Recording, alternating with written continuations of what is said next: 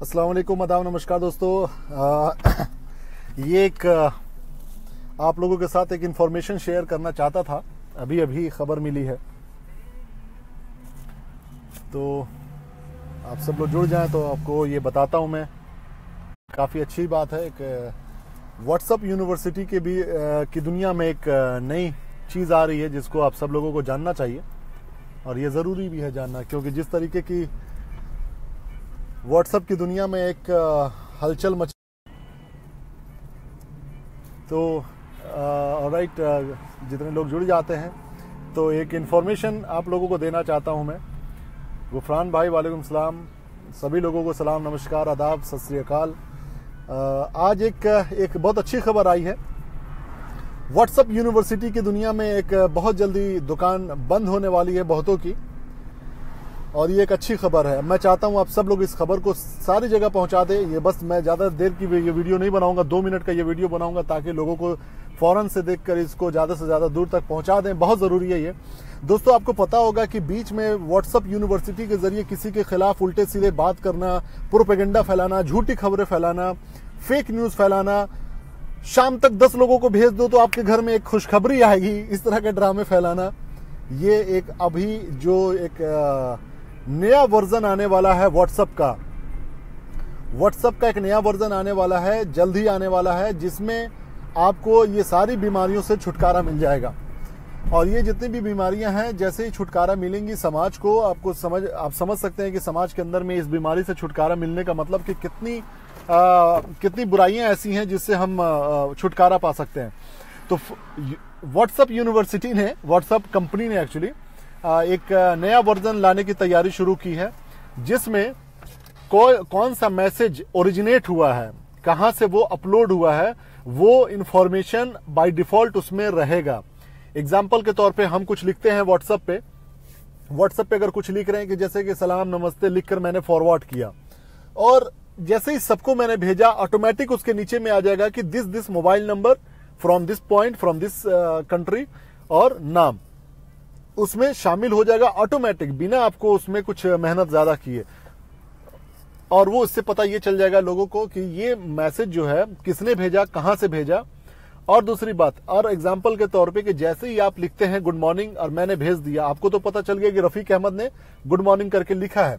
अब आप उस मैसेज को जो फॉरवर्ड करते हैं व्हाट्सएप पे तो अगले को ये लगता है कि ये रफीक अहमद ने नहीं एक्स वाई जेड ने फॉरवर्ड किया है और ये उन्हीं का लिखा हुआ मैसेज है। तो वो भी अब खत्म हो जाएगा मामला। ऑटोमेटिक उस मैसेज में भी जो बंदा जो असली में लिखा है, उसका नाम आ जाएगा। ऑटोमेटिक आ जाएगा। ये एक व्हाट्सएप के एक नया अपडेट आ रहा है। ये बहुत अच्छी बात है। आप यकीन मानिए कि इससे कितनी बड़ी समस्या का, समाधान निकल सकता है। और दूसरी सबसे बड़ी बात यह है कि इससे ये पता चल जाएगा कि कोई फेक न्यूज़ फैलाता है कोई झूठी खबर फैलाता है कोई आग लगाने के लिए खबर फैलाता है तो उसको आप जाकर एफआईआर दर्ज भी करवा सकते हैं इस बिना पर कि आ, ये मैसेज किसने किया था। एग्ज़ाम्पल के तौर पे मैंने लिख दिया एग्ज़ाम्पल के तौर पे कि बीजेपी के नेता ने आज किसी को पीटा बदनाम करने के लिए मैंने व्हाट्सएप पे डाल दिया ठीक है? तो जैसे मैंने ये लिखा वो उसके नीचे आ जाएगा कि रफीक अहमद हिंदुस्तान फला फला टाइम में इन्होंने ये मैसेज को किया था, ठीक है व्हाट्सएप पे। अब अगला जिसको मिला, उसको लगा कि यार ये तो फेक खबर है। रफीक ने खबर गलत बताई है तो वो क्या करेगा? सीधे जाएगा पुलिस में, थाना में या कहीं पर, और उसको जाकर एफआईआर दर्ज करवा सकता है। ये एक्सेप्टेबल होगा। तो ये बहुत अच्छी बात एक है, बहुत अच्छी खबर आ गई है।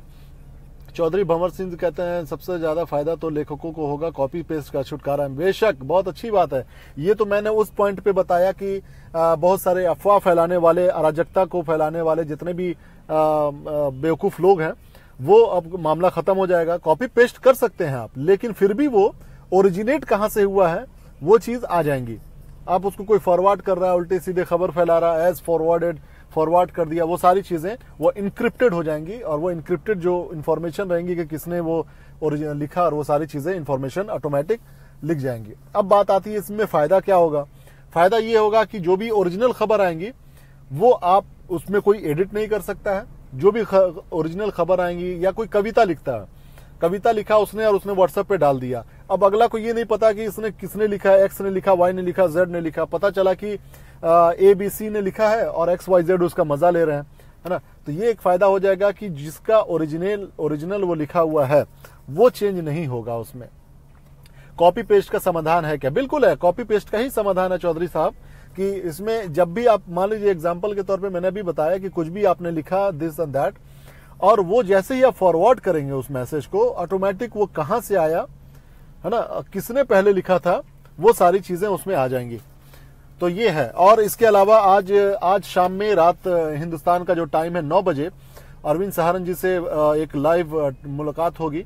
लाइव मुलाकात होगी जिसमें बहुत सारे इश्यूज़ पे बात होगी और कुछ गलत फहमियों की वजह से जो लोग आपस में उल्टे सीधे बात करने लग गए हैं और मजहबी मामला पे चले गए हैं तो उसको हम लोग शुरू से अपना स्टैंड है मोहब्बत के दंगे परिवार का। कि किसी भी तरीके का ऐसा मजहबी मामला या कोई भी धार्मिक मामलों के ऊपर किसी का कोई इस तरह का नहीं होगा। हाँ सबका अपना नज़रिया है, मज़हब को मानने का, धर्म को मानने का, उस पर लोग बात कर सकते हैं। ठीक है? तो वो एक अच्छी बात है। और अगले को इतना टॉलरेंट होना चाहिए कि कोई अगर अनजाने या जानबूझकर कुछ बोलता है तो उतना बर्दाश्त करना सीखना चाहिए। अदरवाइज़ जो लोग बैठ के फेसबुक पे उल्टा सीधा लिखते हैं, अगर वो सामने मिल जाए, अगर हम टॉलरेंट ना हो तो हम तो उसको मार डालेंगे। फिर दंगा फसाद तो हो जाएगा। दंगा फसाद तो इसी तरीके से होता है ना कि हम आपके भावना को आहत कर दें। और आपकी भावना इतनी सस्ती है कि फ़ौरन से आहत हो जाती है है ना? तो ये सारी चीज़ों से आप लोग बचें। इतना भावना को अपने मत सस्ता होने दें, इतना कमज़ोर मत होने दें कि कोई भी आए और उसको आहत करके चला जाए। ठीक है तो आज शाम में हिंदुस्तान के टाइम का नौ बजे अरविंद भाई के साथ एक मुलाकात होगी, एक बातचीत होगी और इसी टॉपिक पे बात होगी। आईटी सेल वाले ब्रेक कर सकते हैं। नहीं नहीं, कुछ नहीं ब्रेक होगा।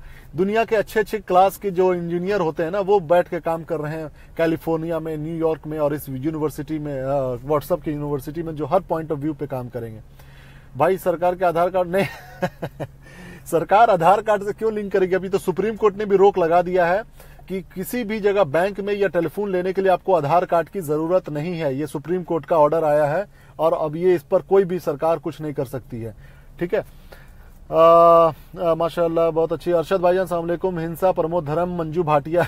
जी अभी तो यही माहौल बनता जा रहा है मंजू जी।